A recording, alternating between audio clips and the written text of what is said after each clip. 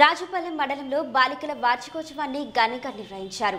మానవాహారంగా నిర్వహించి ప్రత్యేకంగా ప్రతి ఆడ శిశువును రక్షించే బాధ్యత మనపై ఉందని అన్ని రంగాలలో ముందుకు నడిచే విధంగా చూడాల్సిన బాధ్యత మనందరికీ ఉందని సిడిపిఓ తెలియజేశారు. అనంతరం ఎంపీడీఓ శ్రీనివాసరావు మాట్లాడుతూ ఆడపిల్లలు ఏ విషయంలో కూడా తక్కువ కాదని బాలికల వార్షికోత్సవాన్ని ప్రతి సంవత్సరం జరుపుకోవడం సంతోషకరమైన విషయమని తెలియజేశారు.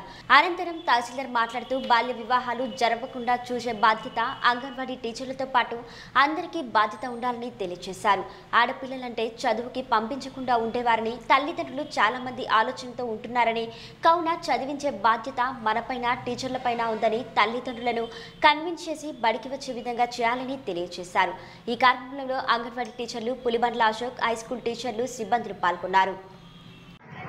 ప్రతి సంవత్సరం కూడా గుర్తు చేసుకుంటూ సాధారణంగా మనందరూ కూడా ఏం చేస్తామంటే ఇంట్లో పొద్దునే లేవగానే మగపిల్లలు చదువుకోమని చెప్తాం ఆడపిల్లలు లేచి గిన్నెలతోము బయట వాగిలు అని చెప్తాం. సహజంగా మనకు తెలియకుండానే మన మనస్తత్వం దానికి వచ్చేసింది.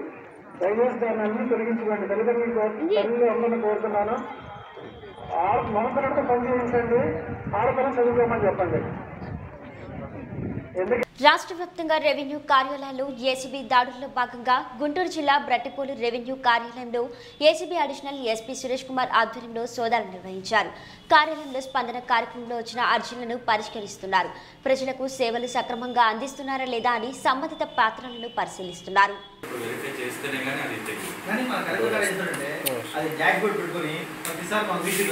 ఎన్ని ఎందుకు అంటే మేము రాత్రి రాత్రి వచ్చి కొట్టేస్తున్నాం.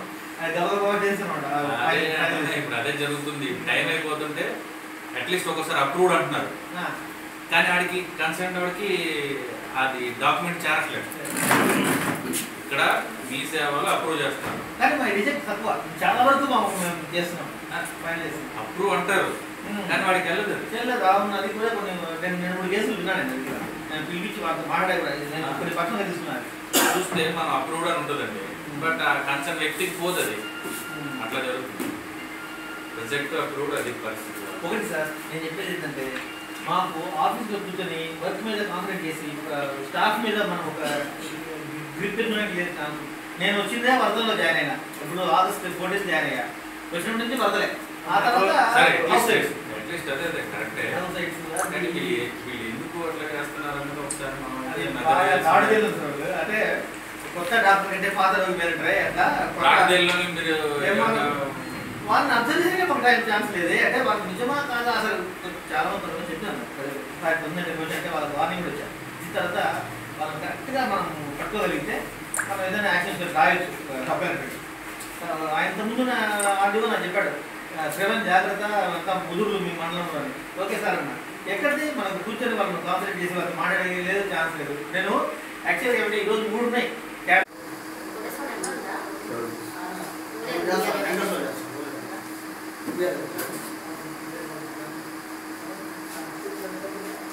ఇప్పుడు ఇక్కడ తీసుకున్నారు కదా ముప్పై ఒకటి ఏడో తారీఖు తీసుకున్నారు చెరుకూరి ఉమా. అవును అది అయిపోయింది కంప్లీట్ అయిపోయిందా? చెరుకూరి మరియమ్మ. హౌస్ ఉమా పట్టా ఇచ్చారు.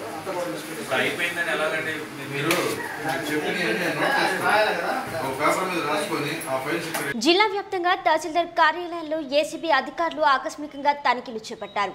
తహసీల్దార్ కార్యాలయంలో దరఖాస్తులు ఎందుకు పెండింగ్లో ఉన్నాయో విచారించి పరిశీలించడానికి వచ్చినట్లు ఏసీబీసీఐ రవిబాబు పేర్కొన్నారు. విషయం తెలిసి సమస్యలపై దరఖాస్తు చేసిన ప్రజలు పెద్ద ఎత్తున కార్యాలయానికి చేరుకున్నారు. అధికారులపై తీవ్ర స్థాయిలో ఆరోపణలు చేశారు. తహసీల్దార్ సక్రమంగా పనిచేయడం లేదని ఇలాంటి తహసీల్దార్ని ఎన్నడూ చూడలేదని నెలల తరబడి కార్యాలయాల చుట్టూ తిరిగినా పనిచేయడం లేదని ఫిర్యాదు చేశారు. ఎక్కువగా పట్టాదారు పాస్ పుస్తకాలు భూములు ఆన్లైన్లో దరఖాస్తులు ఉన్నట్లు తెలియజేశారు. దరఖాస్తు పరిష్కారం ఎందుకు ఆలస్యమైందని నలభై ఐదు రోజుల్లోపు పరిష్కరించాల్సి ఉండగా ఎందుకు నిర్లక్ష్యం చేశారని ప్రశ్నించారు. దానికి సరైన ఆధారం చూపాలని తెలియజేశారు. ఉదయం నుండి రెవెన్యూ సిబ్బంది మొత్తం రావాలని చెప్పినా సాయంత్రం ఐదు గంటల వరకు విఆర్ఓలు ఆర్ఏలు అందుబాటులో లేకపోవడం గమనార్హం. సాయంత్రం సమయంలో కొంతమంది విఆర్ఓలు వచ్చినా వారి వద్ద సరైన సమాచారం ఆధారాలు లేవని ఏ సమయమైనా ప్రతి సమస్యకు ఆధారం చూపాలని ఏసీబీ అధికారులు తెలియజేశారు. మీసేవ నుండి వచ్చిన దరఖాస్తులు ఎక్కువగా ఉన్నాయని వాటిని ఎందుకు పరిష్కరించలేదని అడుగుగా సరైన సమాధానమే లేదని అన్ని పరిశీలించి ఆధారాలు సేకరిస్తున్నట్లు తెలియజేస్తారు. దీంతో రికార్డులను రాత్రి వరకు పరిశీలిస్తూనే ఉన్నారు అధికారులు. ఈ కార్యక్రమంలో ఎస్ఏ షరీఫ్ ప్రసాద్ సిబ్బందులు పాల్గొన్నారు. సర్ప్రైజ్ చెక్ చేయడం జరిగింది. దీని యొక్క ప్రధాన ఉద్దేశం ఏంటంటే ఎన్నెన్ని రోజులు ఏ ఆఫీసులో పెండింగ్ వర్క్ ఉంది ఈ పెండింగ్ వర్క్ సంబంధించి ఎవరు చేయాల్సినటువంటి పని ఎంతవరకు చేశారు ఎందుకు పెండింగ్ పెట్టారు అనే రీజన్స్ మీద ఈరోజు అధికారుల యొక్క ఉత్తర్వుల ప్రకారం చేయడం జరిగింది. ప్రస్తుతం ఇక్కడ ఉన్నటువంటి దీని ప్రకారం పర్సనల్ క్యాష్ రిజిస్టర్ మెయింటైన్ చేయడం కోదాడ జిల్లాలోని బైపాస్లో రోడ్డు ప్రమాదం చోటు చేసుకుంది. కూలీలతో వెళ్తున్న రెండు ఆటోలను వెనుక నుండి అతివేగంగా కారు ఢీకొట్టడంతో ఈ సంఘటన చోటు చేసుకుంది. రెండు ఆటోలలో మొత్తం పదహారు మంది ప్రయాణించగా పదమూడు మందికి గాయాలయ్యాయి. ఇద్దరి పరిస్థితి విషమంగా ఉండడంతో వారిని ఖమ్మం ప్రభుత్వ ఆసుపత్రికి తరలించారు. క్షతగాతులను కోదాడ ఏరియా ఆసుపత్రికి తరలించారు. బాధితులంతా చిలుకూరు బేతహోలు గ్రామస్తులుగా గుర్తించారు. వీరందరూ కోదాడ మండలం నల్లబండ గూడెంలో కూలి పనులు ముగించుకొని వెళ్తుండగా ఈ ఘటన చోటు చేసుకుంది.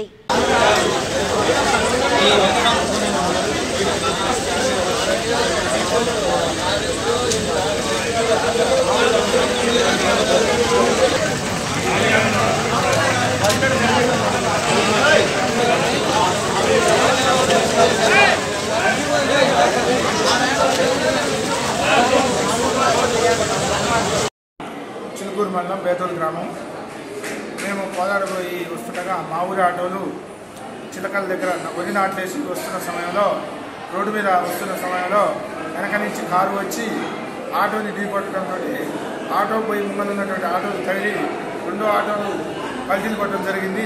పల్టీలో ఇళ్ళ ఎనిమిది మంది అల్ల ఎనిమిది మందికి తీవ్రంగా దెబ్బలు తగిలి గాయం గాయాలు జరిగింది. ఇది మేము వెంటనే వన్ జీరో ఎయిట్కి ఫోన్ చేసి ప్రభుత్వ హాస్పిటల్కి తీసుకురావడం జరిగింది. గత నెలలో జరిగిన మహిళా హత్య కేసును అనంతపురం జిల్లా మడకసిర పోలీసులు ఛేదించారు. జిల్లాలోని మడకసిర పట్టణ సమీపంలో ఉన్న పాలకొండలో గత నెల ఇరవై రెండవ తేదీన మహిళా హత్య జరిగింది. ఈ హత్య కేసులో శుక్రవారం ముద్దాయి బేస్త కృష్ణప్పను పెనుగొండ డీఎస్పీ మహబూబ్ బాషా ఆధ్వర్యంలో అరెస్ట్ చేశారు. కేసు దర్యాప్తు చేసి నిందితుడిని రిమాండ్కు తరలించారు మడకసిర పోలీసులు. వారి వద్ద నుంచి అరవై రెండు వేల ఐదు వందల రూపాయల నగదును స్వాధీనం చేసుకున్నారు పోలీసులు. రెండు జతల కొమ్మలు రెండు మొక్కన ముక్కనెత్తర్లు స్వాధీనపరచుకోవడం జరిగింది. అదేవిధంగా ముద్దాయి యొక్క వాంగ్మూలంలో భాగంగా కోతికి సంబంధించిన రెండు పొరల బంగారు చైన్ను ముతూట్ ఫైనాన్స్లో డిపాజిట్ ఇచ్చేసి ఆ, అప్పు తీసుకున్నానని చెప్పి దాని మేరకు ఆ ముతూట్ ఫైనాన్స్లో కూడా అతని బంగారు కోతికి సంబంధించిన బంగారును గుర్తించడం జరిగింది.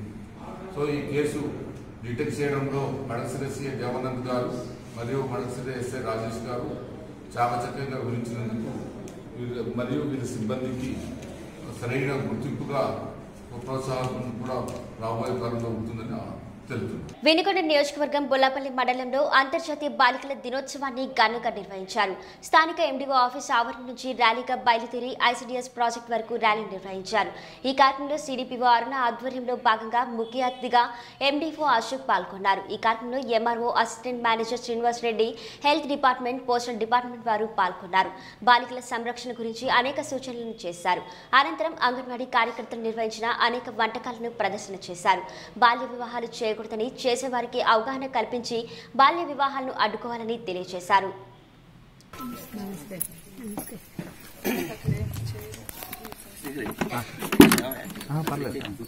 అయితే ముఖ్యంగా మనం ఈ బాలికా దినోత్సవం జరుపుకోవటము తర్వాత ఈ మీటింగ్లు పెట్టుకోవటము మీటింగ్లో ఏదో నాలుగు మాటలు చెప్పుకోవటం ఆ తర్వాత ఎవరి పని వాళ్ళది ఎవరి ఉద్యోగాల్లో వాళ్ళు నిమగ్నం అవటం ఈ రకమైన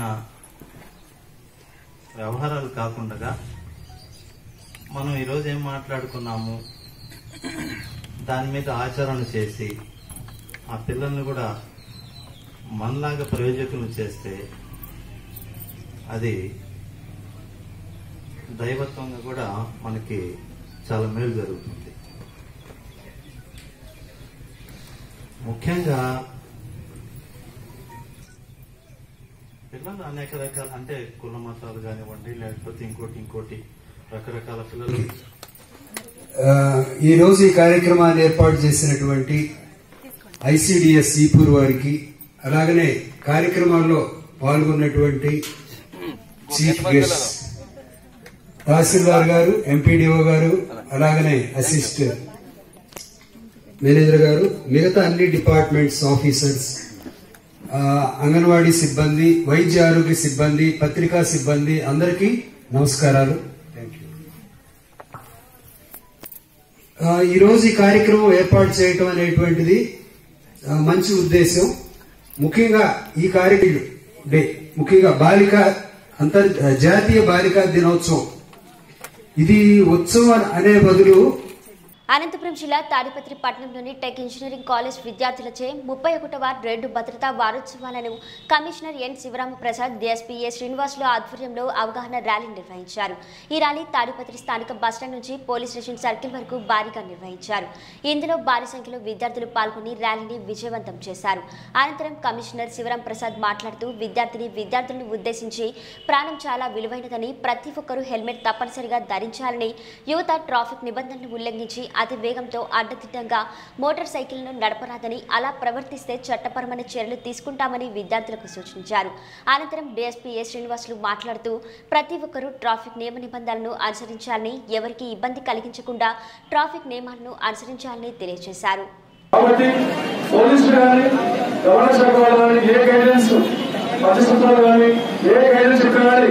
అందరూ పాటిస్తే అందరూ కూడా హ్యాపీగా ఉంటారు.